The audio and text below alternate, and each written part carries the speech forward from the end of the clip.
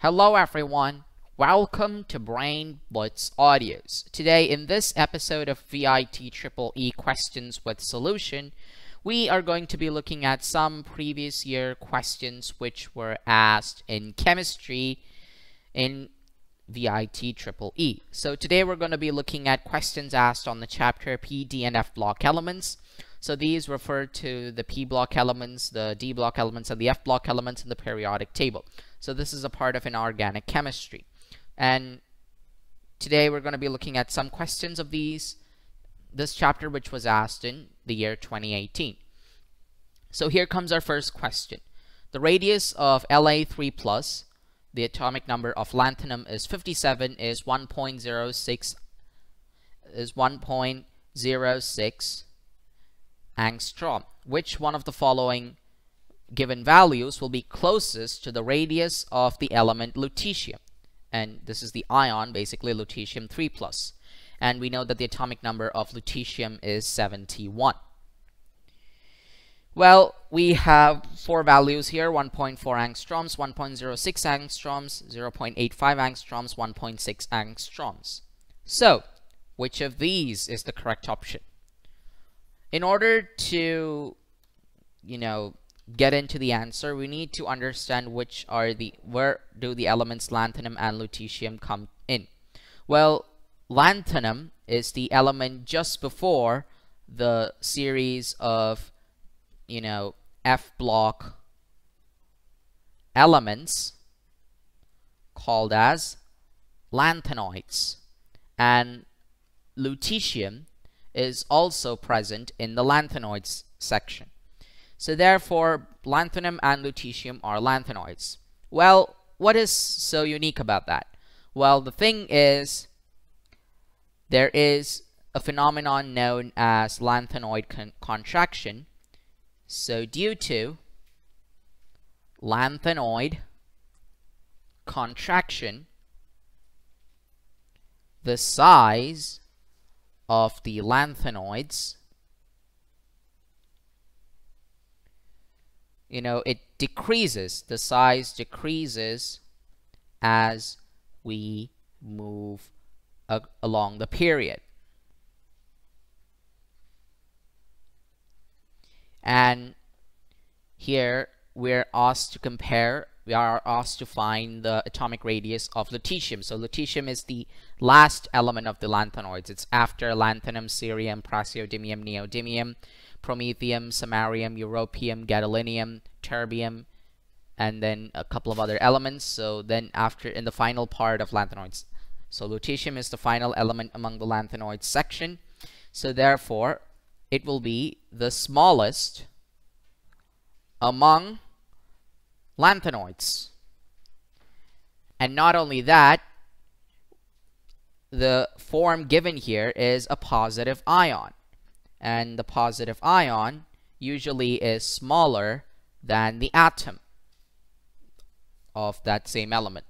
So therefore, from these, you know, deductions, what we can get is that the value of the radius of lutetium will be lesser than 1.06 angstroms.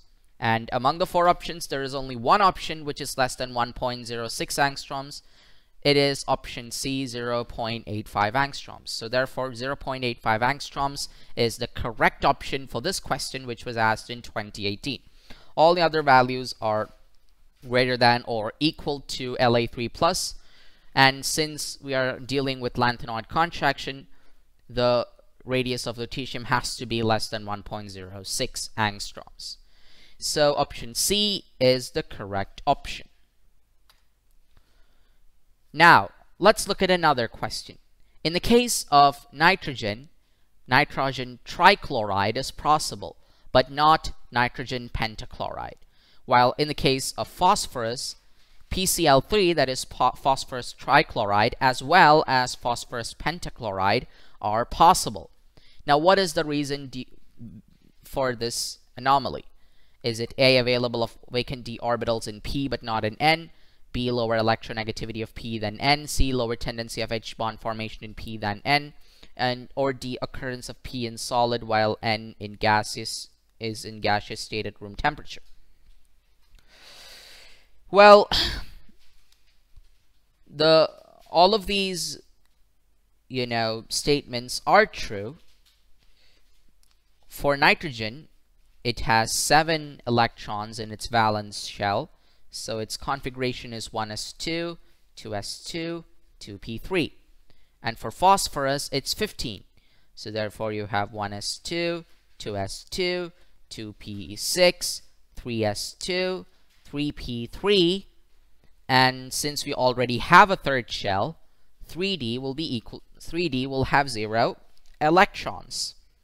Now, if you want to achieve pentachloride, if you want to form a pentachloride, you need to have availability of vacant d orbitals because you know you have five you know chlorine atoms to bond with and and so therefore you must have one you must have the electrons required to form the amount of chlorine the amount possible or you should have vacant orbitals where the you know where the chlorine atoms can form coordinate bonds.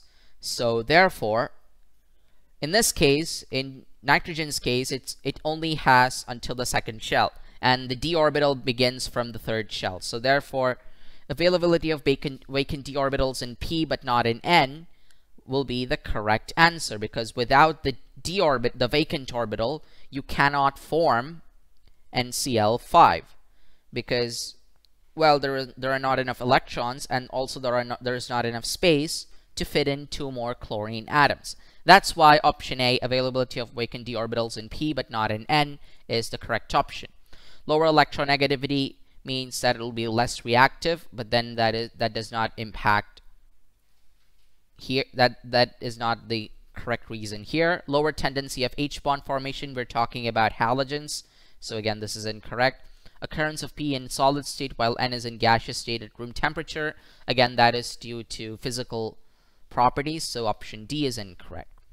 The right option is option A, availability of vacant d orbitals in P but not in N. And this is because nitrogen's configuration ends in the second shell while phosphorus's you know, configuration and ends in the third shell. And in the third shell, you have d orbitals, whether they're filled or vacant. Now let's look at the final question of this episode. In XeF2, XeF4, and XeF6, the number of lone pairs on xenon are respectively 231, 123, 412, 321. Which of these is correct? Well, the first thing to note is that xenon is a noble gas. It's an inert element, and noble gases have eight electrons in the outer shell.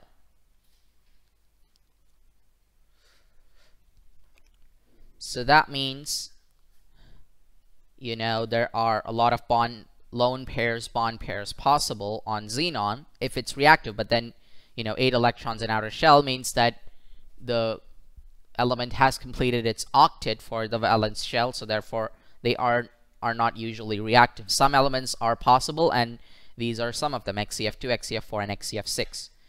So you have xenon, and you have two fluorine atoms trying to bond with it, so they form this structure.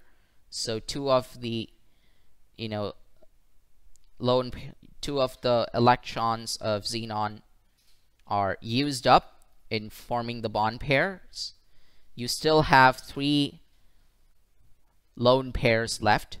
So here's a pair of lone electrons. Here's another, here's another. So you have three of those in XeF2. Similarly, if you were talking about XeF4, you will be having xenon and then four fluorine atoms. F, F. Actually, the structure is something like this. It's F, F, F, F. And you have four electrons which are left out, so they form two lone pairs. So therefore, XeF4 obtains this structure, so it has two lone pairs. And finally, if you're talking about XeF6, here's xenon, Now you have F, F, F, F, F, and then finally another F. But we can, you know, write it as skewed towards one side because you have a lone pair of electrons still left out. So therefore, there's only one lone pair left, so you have one lone pair. We can draw that. So therefore, the correct option for this question is option D, 3, 2, 1 respectively. So XeF2 has three lone pairs as we've just as we've drawn out. For XeF4 you have two lone pairs and for XeF6 you have just one lone pair. So therefore option D is the correct option for this question which was asked in 2018. That concludes this episode of the IEEE Questions with Solution. If you want to access more of our videos, then don't forget to subscribe to our channel, which is Brain Blitz Audios. You can always get the latest updates by hitting the notifications button in below the video. If you want to access more of our video syllabus, then don't forget to hit the link for the playlist in the description box down below. And Finally, if you have suggestions regarding how to improve our content, then don't forget to type them down in, in the comment section down below. So until the next episode, take care, stay safe, bye-bye for now.